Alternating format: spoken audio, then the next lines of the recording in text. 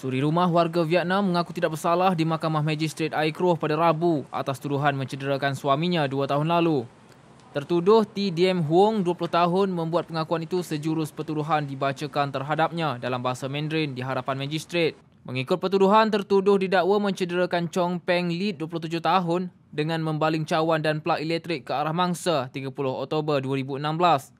Tertuduh didakwa melakukan kesalahan mengikut Seksyen 323 Kanun Kesesaan dan hukuman dibacakan bersama Seksyen 326A Kanun yang sama yang memperuntukkan hukuman penjara sehingga 2 tahun atau denda RM4,000 atau kedua-duanya sekali. Mahkamah kemudian membenarkan tertuduh diikat jamin RM8,000 dengan dua orang penjamin. Thank you.